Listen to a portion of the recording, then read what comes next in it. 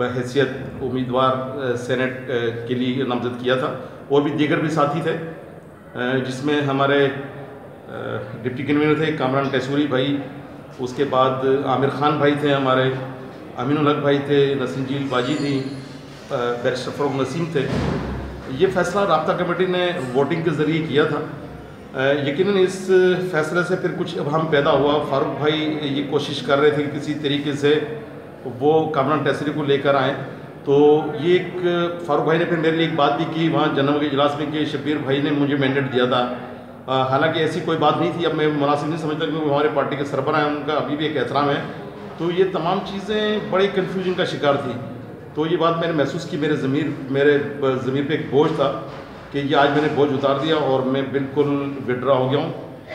اس نشست سے مجھے الیکشن نہیں لڑنا میں ایک نظریاتی اور تحریکی کارکن ہوں۔ میں ایم کیو میں رہ کر ان شاء اللہ تمام اور انسانی تو آپ کامران ٹیسوری الیکشن لڑیں گے؟